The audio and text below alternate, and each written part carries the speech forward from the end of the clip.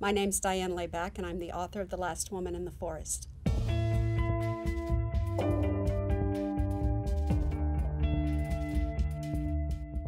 What inspires me the most to write would be anything that makes me feel, whether it's a beautifully written passage in a book, um, an incredible movie. One of my favorite movies is Into the Wild about Chris McCandless.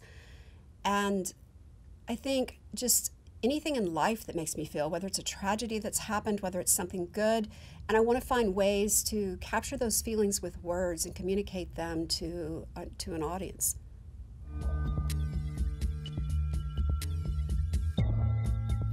My advice to struggling writers would first be don't give up.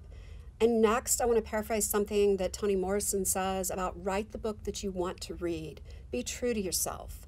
Um, and also, imagine, don't create, because when we create, we're forcing something into being, we're manipulating something. And instead, try to imagine it. Try to hold a visual image of something in your mind and then look for the words to, to capture that image.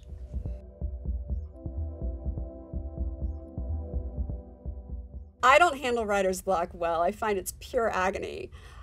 First, I try to read, and particularly read short stories. Oftentimes, that'll lift the writer's block, but if it doesn't, I remember something I did with my sons. I have three grown sons now, but if I wanted them to open up to me or to get them talking, I would engage them in an activity such as shooting baskets or throwing a baseball, going for a hike.